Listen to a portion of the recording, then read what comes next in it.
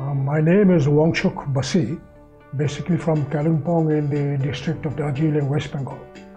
What happened was sometime in the month of September, suddenly I found that a lot of the usual things I did I could not do. So I had a blood test done and uh, they said you it seems you have symptoms of jaundice and uh, also it seems that you probably have hepatitis.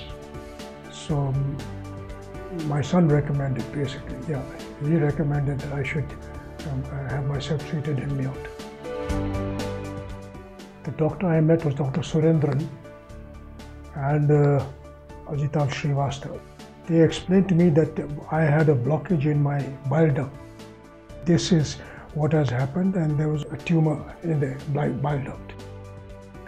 And uh, which subsequently I found out was quite a among the rarer of the cancer.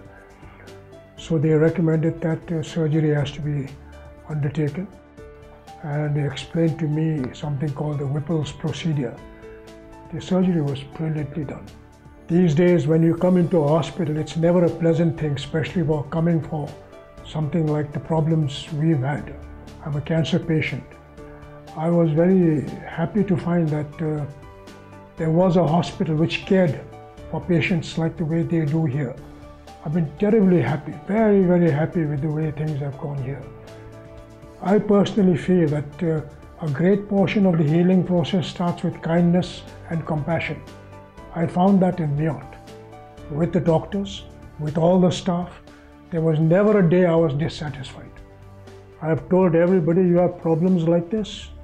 One place that I can recommend with no hesitation is the MIOT International.